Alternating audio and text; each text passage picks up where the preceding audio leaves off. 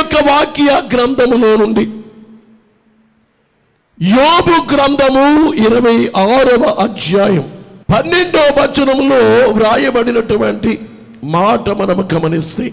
తన బలము వలన తన బలము వలన ఆయన సముద్రమును రేపును. ఆయన సముద్రమును రేపును. తన వివేకము వలన తన వివేకము వలన రాహాబును పగలగొట్టును. రాగాబును పగులగొట్టును. వినాలి ప్రియులారా ఈ పరిశుద్ధ గ్రంథం అయిన బైబిల్లో యోగు గ్రంథము చాలా ప్రత్యేకత సంతరించుకుంది. యోబనబడేటువంటి దైవజనుడు శ్రమల కాలములో ఎన్నో గూఢమైనటువంటి సంగతులు ఎన్నో ప్రత్యేకమైన సంగతులు తెలియజేశారు. అందుకనే చాలా మంది పండితులు ఏమంటారంటే ఆది కాండము కంటే ముందుగా వ్రాయబడిన గ్రంథము యోబు గ్రంథం అని అంటారు బైబిల్లో ఆది కాండము నిర్గమ కాండము లేవియ కాండము సంఖ్యా కాండము ద్వితీయోపదేశ కాండము ఈ ఐదు కాండాలు క్రీస్తు పూర్వము పద్నాలుగు వందల సంవత్సరాలకి చెందిన మోషే గారు వ్రాసారు మోషే గారి కంటే ముందుగా వ్రాయబడినటువంటి గ్రంథము యోబు గ్రంథమని బైబిల్ పండితులు దీన్ని గూర్చి మాట్లాడుతూ ఉంటారు. ఈ వచనములో వ్రాయబడినటువంటి మాట ఏమిటంటే రాగాబును తన వివేకము వలన పగలగొట్టును. బైబిల్ గ్రంథములో రాహాబు అనబడేటువంటి పేరు ఇహోషువా గ్రంథములో మనం వింటాము. ఈ హోషువా గ్రంథములో ఇస్రాయేలియులైన వారు కనాను దేశానికి అడుగు పెట్టబోయే సమయములో ఇగోషువా నాయకత్వాన్న వేగుల వారు ఎరుకో ప్రాంతము ఉందో దాన్ని వేగు చూడటానికి వెళతారు. ఈలోపు ఎరుకో వారికి తెలుస్తుంది రాజుకు తెలుస్తుంది. వారి సైనికులు వచ్చి చంపబోయే సమయంలో రాహాబరబడే ఒక వేష్య ఇంటికి వెళతారు. వీరిద్దరూ ఆమె ఇంట్లోనికి వెళ్ళగానే వాళ్ళని వాళ్ళ సైనికులకు అప్పగించాలి కానీ మిద్దె పైకెక్కించి జమ్ము కప్పేసి ఈలోపు సైనికులు వస్తే వాళ్ళు వచ్చారు కానీ ఇటు నుంచి వెళ్ళిపోయారు అని చెప్పి అబద్ధము చెప్పింది. కారణం ఏమిటంటే వచ్చిన వారు కలిగిన దేవుడు ఎంత గొప్ప దేవుడో ఈ రాహాబరబడే ఆమె విన్నది. ఇగోషువా గ్రంథము రెండవ అధ్యాయము పది పదకొండు వచనాల్లో మీరు ఐగుప్తు దేశంలో నుండి మీరు ఐగుప్తు దేశములో నుండి వచ్చినప్పుడు వచ్చినప్పుడు మీ ఎదుట యెహోవా ఎర్ర సముద్రపు నీరును మీ ఎదుట ఎగోవా ఎర్ర సముద్రపు నీరును ఎలాగూ ఆరిపో చేసెనో ఎలాగూ ఆరిపోజేసిన యోర్దాను తీరముననున్న అమోరి- అమోరియుల ఇద్దరు రాజులైన సిగోనుకును ఓగుకును మీరేమి చేసి తిరో అనగా మీరు వారిని ఎలాగూ నిర్మూలము చేసి తిరో ఆ సంగతి మేము వింటిమి. ఈ రాగాబు పలికే మాటలు ఏమిటంటే మీకు దేవుడు ఎలాగూ కార్యాలు చేశారో మీకు జయాలు దేవుడు ఎలాగిచ్చారో ఆ విషయాలన్నీ కూడా మేము విన్నాము. మేము వినినప్పుడు మా గుండెలు కరిగిపోయెను. మీ దేవుడి నీగోవా పైన ఆకాశమందును క్రింద భూమి అందును దేవుడే. ఇలా వినాలి రాగాబేమంటుందంటే పైన ఆకాశమందు క్రింద భూమి యందు దేవుడే. మీరు నమ్మిన దేవుడు. మీ ఎదుట ఎట్టి మనుష్యులకైనను ధైర్యమే మాత్రం ఉండదు ఇలా వినాలి ప్రియులరా.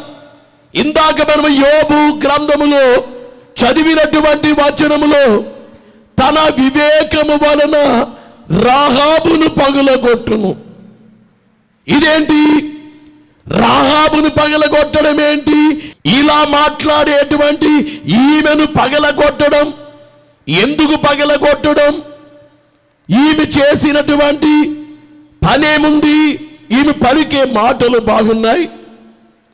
కడకేమి జరిగింది? ఆమె ఏమందంటే దేవుడు ఈ దేశాన్ని మీకిచ్చే సమయంలో నన్ను నా ఇంటి వారిని కాపాడండి అంటే వాళ్ళిద్దరూ చెప్పారు మీ ఇంటికి ఏమి కీడు చేయము.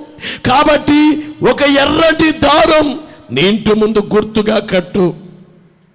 ఎర్ర దారాన్ని కడితే మేము ఒక్కొక్క ఇల్లు కాల్చుకొని వెళ్ళిపోయే టైంలో ఆ ఎర్ర దారాన్ని బట్టి మీ ఇల్లు కాల్చకుండా మానేస్తాం. అని అన్నారు. ఈ విషయాలు యెహోషువాకు చెబితే యహోషువా చెప్పాడు కాబట్టి ఇదిగో వినండి రాహాబుని ఏమీ చేయొద్దు.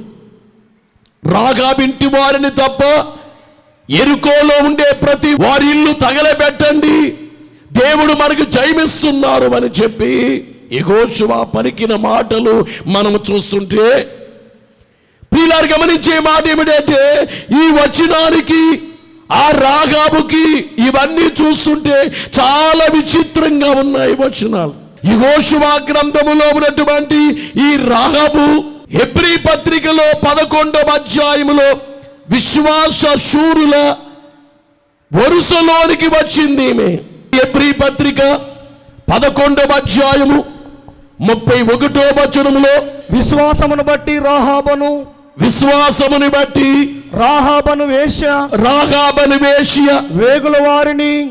వేగుల వారిని. సమాధానముగా చేర్చుకొనినందున. సమాధానముగా చేర్చుకొనినందున. అవిధేయులతో పాటు. అవిధేయులతో పాటు. నశింపకపోయెను. నశింపక విన్నారా ప్రియులారు గమనించే మాట ఏమిటంటే ఈ రాగాబరబడేటువంటి వేశ్య వేగుల వారిని చేర్చుకొనినందున ఈమె కుటుంబానికి కీడు రాలేదు. కానీ గమనించే మాట ఏమిటంటే మరి యోబు గ్రంథములో ఇరవై ఆరు అధ్యాయము పన్నెండో వచనములో తన వివేకము వలన రాహాబును పగులగొట్టును. రాగాబును పగులగొట్టుని విన్నారా? ఏం చేస్తారట దేవుడు? తన వివేకమును బట్టి రాగాబును పగలగొట్టును. అలాగే దావీదు సంకీర్తన ఎనభై ఏడవ సంకీర్తన నాలుగో వచనములో రాగాబును ఐగుప్తు బబులోనును నాకు పరిచయులని నేను తెలియచెప్పుచున్నాను. దేవుని గట వీరు పరిచయం ఉన్నారట పరిచయులు. రాగాబు తెలుసట. రెండోది ఐగుప్తు తెలుసు బబులోను తెలుసు. ఈ రోజు వరకు మనం వింటున్నాం బబులోనుంది మీకు తెలియచేసేటువంటి ప్రాముఖ్యమైన మాట ఏమిటంటే రాగాబు అలాగే ఐగుప్తు బబులోను నాకు పరిచయులని దేవుడు ఏమంటున్నారంటే ఈ మూడు నాకు పరిచయులు. అయితే గమనించే మాట ఏమిటంటే ఇందాక చదివినటువంటి వచనములో తన వివేకము వలన రాగాబును పగులగొట్టును. మనం రాగాబును గూర్చి విన్నాం. ఆమె మారింది గాని కఠినముగా లేదు.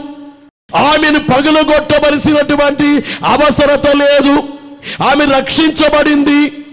ఎంతవరకంటే విశ్వాస శూరుల అధ్యాయంలోకి ఆమె పేరు వచ్చింది ఈ వచనాలు చూస్తే యహోషువా గ్రంథములో ఉన్నటువంటి రాగాబుని గురించి విషయాలు కాదు అనేటట్లుగా కనబడుతున్నాయి. ప్రియులారి యషియా గ్రంథము యాభై ఒకటవ అధ్యాయము తొమ్మిదో వచనములో వ్రాయబడినటువంటి మాట ఏమిటంటే ఇహోవా బాగువా లెమ్ము లెమ్ము ఫలము తొడుగు కొమ్ము. పూర్వకాలములలోన పూర్వకాలములలోను పురాతన తరములలోను పురా- పురాతన తరములలోను లేచినట్లు లెమ్ము లేచినట్లు లెమ్ము రాహాబును రాగాబును తుత్తునీయులుగా తుత్తునీయులుగా నరికి వేసిన వాడవు నీవే కదా. ఇలా వినాలి ప్రియుల ఈ వచనంలో వ్రాయబడినటువంటి మాట ఏమిటంటే రాగాబును తుత్తునీయులుగా అంటే గమనించే మాట ఏమిటంటే పూర్వకాలంలో దేవుడు ఏం చేశారు? రాగాబును నరికేశారంటే ఇగోషువా గ్రంథములో ఉన్న రాగాబు కాదు. రాగాబు అనే మాటకు అర్థం ఏమిటంటే విశాలమైన వాడు. రాగాబు అంటే స్త్రీ కాదు ఇక్కడ. ఈ రాగాబరబడేటువంటి మాటకు అర్థం ఏమిటంటే విశాలమైన వాడు. ఓ మాటలో చెప్పాలంటే ఉన్నతమైనటువంటి దేహాన్ని కలిగిన వాడు.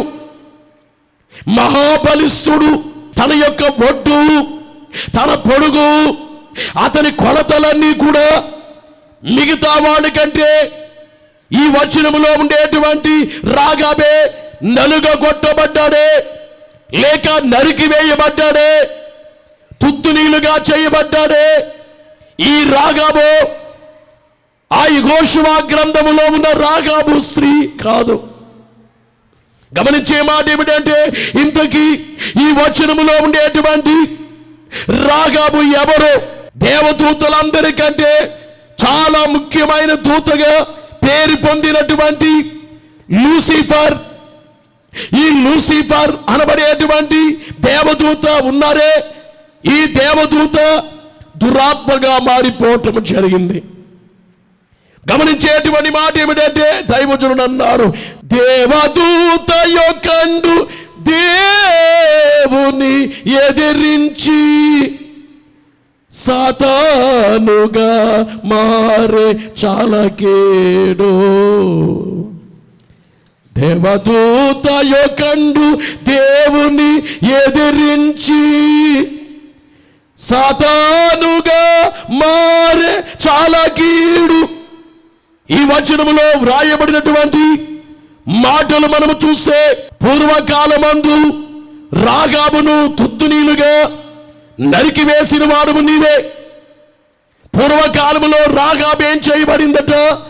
తుత్తునీలుగా నరికివేయబడింది దేవుడు ఎంతటి ఘనమైన వారో తెలుసుకోకుండా కేవలము దేవుడు అంటే ఆరడుగుల ఆజానుభావులేమో దేవుడంటే మనలాంటి మనిషేమో అని చాలామంది భ్రమిస్తూ ఉంటారు.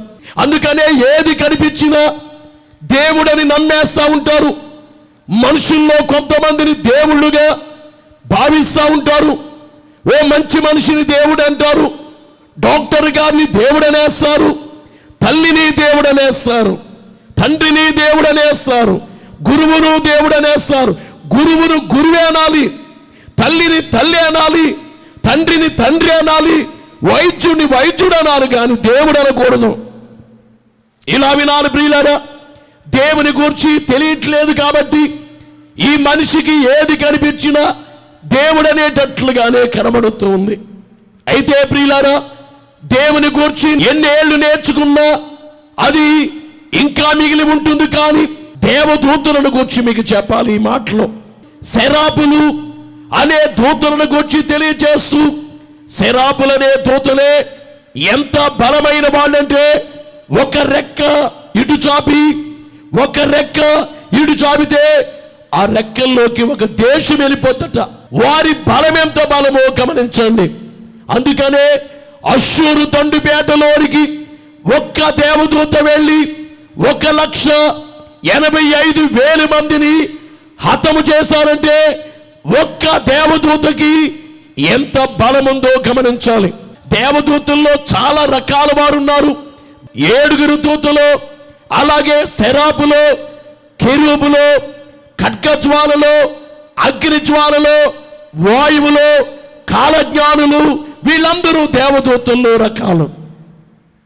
అయితే గమనించే మాట ఏమిటంటే వీరందరిలో రాహాబు. అంటే గమనించే మాట ఏమిటంటే రాహాబు అనబడే మాటకి విశాలమైన వాడని అర్థము. అనగా దేవదూతుల్లో ప్రధానమైన దేవదూత లూసిఫర్ అనేవాడే. అందరి దూతల కంటే చాలా బలమైన వాడు. మిగతా దూతలందరికంటే ఉన్నతమైనటువంటి దేహాన్ని కలిగిన వాడు యూసిఫర్ మహాబలిష్ఠుడు.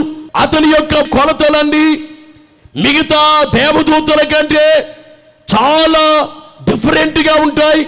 ఎందుకంటే దేవుడే ఈ దేవదూతనే ప్రత్యేకత ఇచ్చినట్లుగా దేవుని యొక్క వాక్య గ్రంథములో ఏస్కేల్ గ్రంథములో ఇరవై ఎనిమిదవ అధ్యాయములో పన్నెండో వచనము నుండి ప్రభు గోవా సెలవిచ్చినది ఏమనగా పూర్ణ జ్ఞానమును సంపూర్ణ సౌందర్యమును గల కట్టడమునకు నువ్వు మాదిరివి.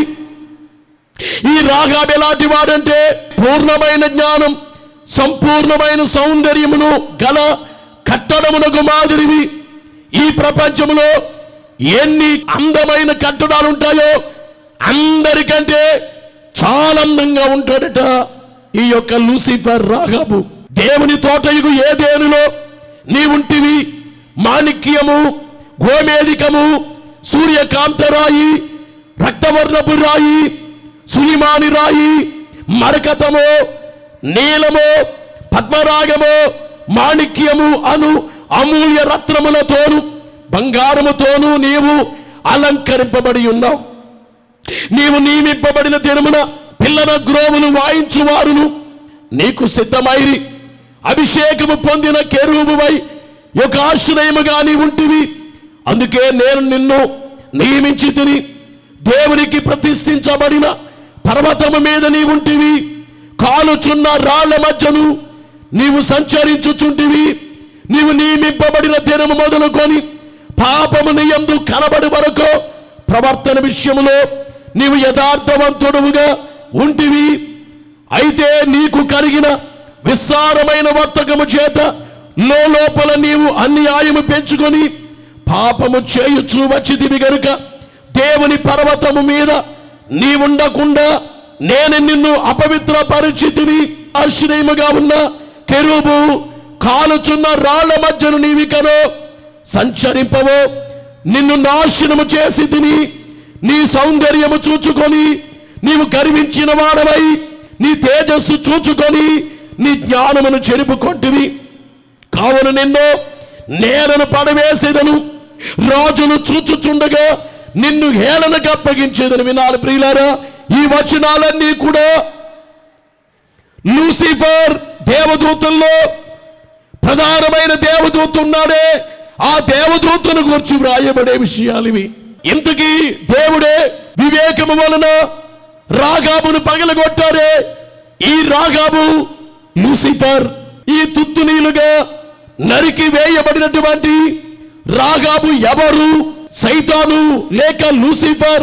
దేవుడే ఏ పర్వతం మీద కూర్చోవాలో ఆ పర్వతం మీద కూర్చున్నాడు. గమనించేటువంటి మాట ఏమిటంటే అభిషేకాన్ని పొందిన వాడిగా ఉన్నాడు లూసిఫర్. అయితే గమనించే మాట ఏమిటంటే దేవుడే ఆశీర్వదించిన తరువాత ఈ లూసిఫర్లో దుర్బుద్ధి వచ్చి పడిపోయాడు. తనలో గర్వాన్ని తెచ్చుకున్నాడో విస్తారంగా వ్యాపారం చేశాడో. ఏంటి వ్యాపారం అంటే దేవునికి విరుద్ధంగా పరలోక దర్బారులో దేవునికి వ్యతిరేకులను తయారు చేశాడు. ఆ టైంలో ఎగోవా బాగువో ఏమి చేయడం జరిగింది? యషియా గ్రంథంలో యాభై ఒకటో అధ్యాయము తొమ్మిదో వచనంలో ఎగోవా బాగువు లెమ్ము లెమ్ము బలము తొడుగు కొమ్ము. బలము తొడుగు కమ్ము పూర్వపు కాలములలోను పూర్వపు కాలములలోను. పురాతన తరములలోను. పురాతన తరములలోను లేచినట్లు లెమ్ము. రాగాబును తుత్తునీలుగా నరికిన వాడము నీవే కదా ఈ వచనములో వ్రాయబడిన మాట ఏమిటంటే రాగామునే తుత్తునీలుగా చేసింది నీవే. అనగా గమనించే మాట ఏమిటంటే మనమే ఈశ్వరు పండుగ చేసుకుంటూ అపవాదినే దేవుడే జయించారు అని చెబుతున్నాము కానీ ఎప్పుడో ఆది కంటే ముందు కాలంలోనే జరిగింది ఇది. భూమి ఆకాశాలు లేని కాలంలో అపవాదిని దేవుడు జయించారు? ఇప్పుడు చెప్పండి ప్రియులరా? రాహాబ్ అంటే ఎవరు? సైతాను. రాహాబ్ అనబడేటువంటి మాటకు విశాలమైన వాడు ఉన్నతమైన దేగం అంటే పరలోకములో ఎన్ని కోట్ల మంది దేవదూతలు ఉన్నారో వాళ్ళందరికంటే చాలా ఉన్నతమైన దేహాన్ని కలిగిన వాడు. దేవుడు ఏం చేశారు? రాగాబులో తుత్తునీలుగా నరికి వేశారు.